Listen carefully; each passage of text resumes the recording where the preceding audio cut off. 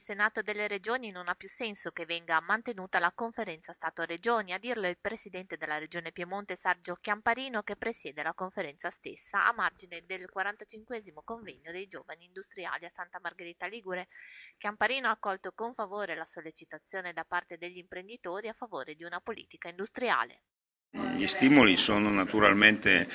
tanti, uno ad esempio lo quello della sollecitazione a una politica industriale lo considero fondamentale perché credo che sia mancato nel passato, questo abbia, abbia impedito che molte industrie italiane facessero di più e meglio di quello che già comunque hanno fatto e che non è poco. Questo richiamo al metodo io lo trovo molto importante perché spesso diciamo, se non si dice come si raggiungono gli obiettivi, dire solo gli obiettivi eh, si fanno delle petizioni di principio. No? Come diceva un grande teorico del socialismo europeo di fine Ottocento, eh, il, il fine è nulla, il mezzo è tutto, perché a seconda di come ti raggiungo un obiettivo dipende se lo raggiungo o meno, solo dire l'obiettivo è facile. Ecco, due sollecitazioni che mi pare siano importanti per la politica e non solo. Io penso, mm, è un pensiero sicuramente forse minoritario, che con la riforma del Senato il sistema delle conferenze non dovrebbe avere più senso di esistere, perché nel momento in cui si fa un Senato delle regioni è, del tutto evidente che eh, aver, continuare ad avere a fianco un sistema che è spesso farraginoso, molto burocratico, quello delle conferenze,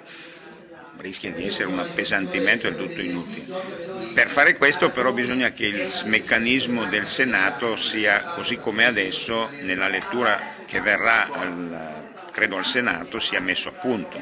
Cioè, per esempio, faccio una sola considerazione, deve essere una Camera delle Regioni vera, quindi se non si vuole copiare il modello Bundesrat,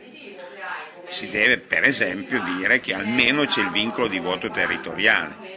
che vuol dire che i rappresentanti di una regione votano per quella regione e non votano per gli schieramenti dei partiti che li hanno eletti. Torino ha dovuto fare molti passi in più di Genova perché Genova la vocazione turistica l'ha sempre avuta, insomma.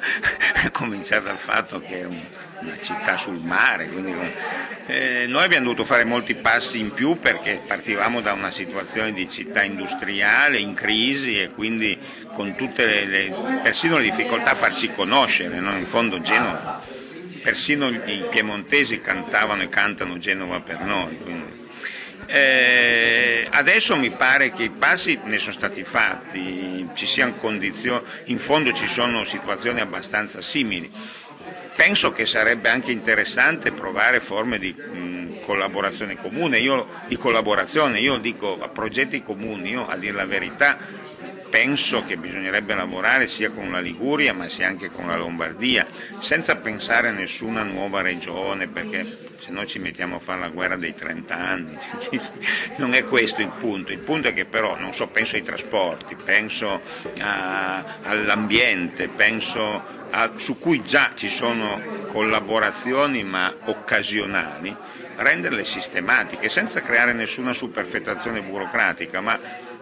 decidere, che so io, che per il trasporto pubblico locale le gare in alcuni, in alcuni, ambiti si possono fare insieme delle regioni confinanti, perché magari da Alessandria c'è più gente che viene a Genova, dalla Val, dalla Val Bormida o dalla Valle Scrivia c'è più gente che mi viene a Genova che non a Torino, come da Novara c'è più gente che va a, Novara, che a Milano che non a Torino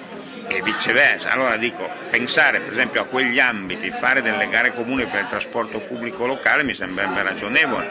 Ha senso che ci siano differenze nei, nel tassi di eh, emissione di, di, di, polveri nocivi nell'aria che a distanza di 20 km fra Trecate e che so io, Boffalora cambiano in modo significativo. Ecco, alcuni esempi di coordinamento.